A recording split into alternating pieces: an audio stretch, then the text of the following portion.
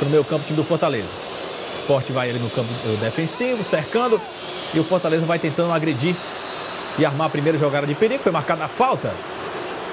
Um pouco mais perto da área dessa vez. Pode ser uma boa oportunidade para o time do Fortaleza levantar essa bola na área. Falta em cima do Robson. É repetição, dois jogadores chegaram ali forte e acabaram cometendo a falta no atacante do time cearense.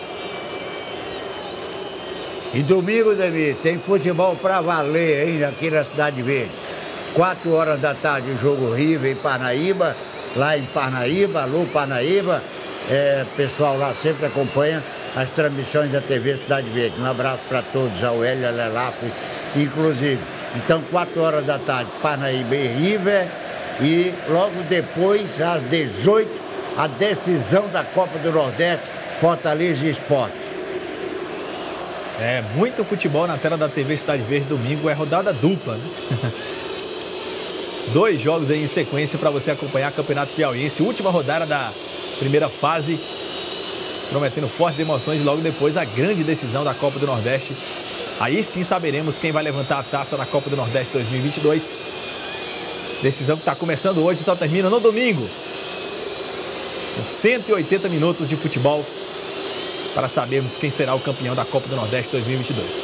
Aí a falta, cobrada direto, desviou na barreira, saiu, é escanteio a favor do time do Fortaleza. Falta cobrada pelo Lucas Lima.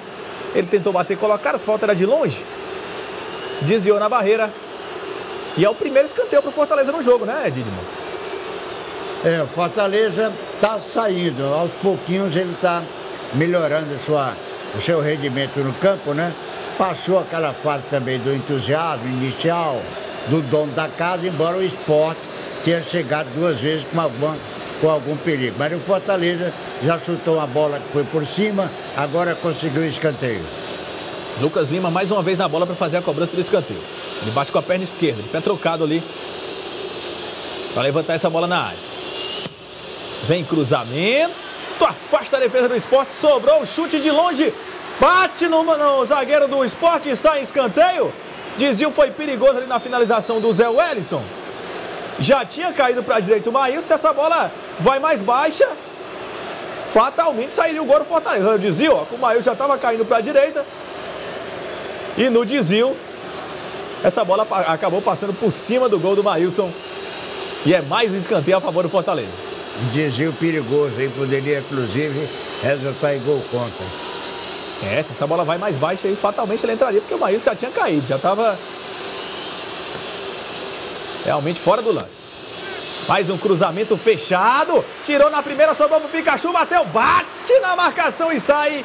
É mais um escanteio para o Fortaleza, é o terceiro seguido. Fortaleza só tinha tido, não tinha tido nenhum escanteio, agora tem três seguidos. E o esporte só teve um.